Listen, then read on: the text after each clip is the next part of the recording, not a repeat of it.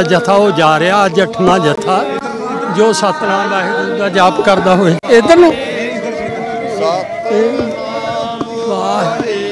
ਇਹ ਸਤਨਾਮ ਵਾਹਿਗੁਰੂ ਦਾ ਜਾਪ ਕਰਦਾ ਹੋਇਆ ਅੱਜ ਉੱਥੇ ਹੀ ਸੀਐਮ ਦੀ ਕੋਠੀ ਵੱਲ ਚਾਲੇ ਪਾ ਰਿਹਾ। ਤੋ ਜਿੱਥੇ ਵੀ ਪ੍ਰਸ਼ਾਸਨ ਨੇ ਰੋਕਣਾ ਸਤਨਾਮ ਵਾਹਿਗੁਰੂ ਦਾ ਜਾਪ ਕਰਦਾ ਹੋਇਆ ਅਰਦਾਸ ਕਰਕੇ ਵਾਪਸ। ਅੱਜ 8ਵੇਂ ਦਿਨ ਹੈ 8ਵੇਂ ਦਿਨ ਨੂੰ ਕਿਵੇਂ ਦੇਖਦੇ ਹੋ? ਕਿੰਨੀ ਕੋਈ ਗੱਲਬਾਤ ਹੋਈ ਹੈ ਸਰਕਾਰ ਨਾਲ ਜਾਂ ਦੇਖੋ ਅਸੀਂ ਗੱਲਬਾਤ ਨਹੀਂ ਅਸੀਂ ਆਪਣਾ ਜਿਹੜਾ ਗੁਰੂ ਸਾਹਿਬ ਦਾ ਮੁਸਕਾ ਹੈ ਸਾਨੂੰ ਹੁਕਮ ਹੈ ਉਸ ਸਿਧਾਂਤ ਤੇ ਪਹਿਰਾ ਦਿੰਦੇ ਹੋਏ ਆ। ਅਸੀਂ ਜਥਾ ਭੇਜ ਰਹੇ ਹਾਂ ਪਰ ਸਰਕਾਰ ਤੋਂ ਸਾਨੂੰ ਇਸ ਤਰ੍ਹਾਂ ਦੀ ਕੋਈ ਉਹ ਨਹੀਂ ਨਾ ਸਾਨੂੰ ਕੋਈ ਮੰਗ ਕਰ ਸਿਰਫ ਜਿਹੜਾ ਅਸੀਂ ਸ਼ੁਰੂ ਕੀਤਾ ਉਸ ਪ੍ਰੋਗਰਾਮ ਤਹਿਤ ਅੱਜ ਅੱਠਵਾਂ ਜਥਾ ਰਵਾਨਾ ਹੋ ਰਿਹਾ ਹੈ ਤੇ ਸਰਕਾਰ ਪ੍ਰਭਾਵ ਕਬੂਲ ਦੀ ਲੱਗਦੀ ਆ ਬਾਪੂ ਜੀ? ਕੋਈ ਥੋੜਾ ਬਹੁਤਾ ਪ੍ਰਭਾਵ?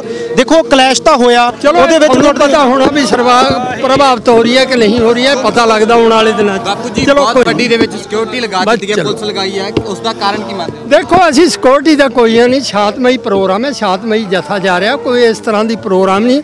ਸਰਕਾਰ ਇਹ ਬੁਖਲਾੜ ਚ ਆ ਕੇ ਕੁਝ ਕਰਨਾ ਚਾਹੁੰਦੀ ਹੈ ਪਰ ਸਾਡਾ ਪ੍ਰੋਗਰਾਮ ਹੈ ਜਿਹੜਾ ਉਹ ਸ਼ਾਂਤਮਈ ਹੈ ਸਤਨਾਮ ਵਾਹਿਗੁਰੂ ਦਾ ਜਾਪ ਕਰਦਾ ਜਾਵੇਗਾ ਜਥਾ। ਉੱਥੇ ਜਿੱਥੇ ਵੀ ਪ੍ਰਸ਼ਾਸਨ ਰੋਕੇਗਾ ਉੱਥੇ ਬੈਠ ਕੇ ਸਤਨਾਮ ਵਾਹਿਗੁਰੂ ਦਾ ਜਾਪ ਕਰੇਗਾ ਨਾਮ ਸਿਮਰਨ ਕਰੇਗਾ। ਉਸ ਤੋਂ ਬਾਅਦ ਅਰਦਾਸ ਕਰਕੇ ਚੰਡੀਗੜ੍ਹ ਬਾਰ ਐਸੋਸੀਏਸ਼ਨ ਨੇ ਜਿਹੜਾ ਹੈ ਉਹ ਹਿਮਾਇਤ ਕੀਤੀ ਹੈ ਕਿਹਾ ਹੈ ਕਿ ਐਫ ਆਈ ਆਰ ਦੋ ਵਕੀਲਾਂ ਤੇ ਵਾਪਸ ਲੈਣੀ ਚਾਹੀਦੀ ਨਹੀਂ ਉਹ ਦੋ ਵਕੀਲਾਂ ਤੇ ਨਹੀਂ ਜਿੰਨੇ ਸਮੁੱਚੇ ਉਹਨਾਂ ਤੇ ਹੋਈ ਹੈ ਜਿੰਨੇ ਵੀ ਪ੍ਰਬੰਧਕ ਹੈ ਇਸ ਮੋਰਚੇ ਦੇ ਉਹਨਾਂ ਦੇ ਜਿਹੜੀ ਉਹ ਸਾਰੀਆਂ ਐਫ ਆਈ ਆਰ ਹੋਈ ਹੈ, ਝੂਠੇ ਪਰਚੇ ਦਰਜ ਕਰੇ ਸਰਕਾਰ ਨੇ। ਉਸ ਦੇ ਖਿਲਾਫ ਰੋਸ ਵਜੋਂ ਅੱਜ ਚੰਡੀਗੜ੍ਹ ਬਾਰ ਐਸੋਸੀਏਸ਼ਨ ਨੇ ਬੰਦ ਦੀ ਕਾਲ ਦੇਈ ਹੈ।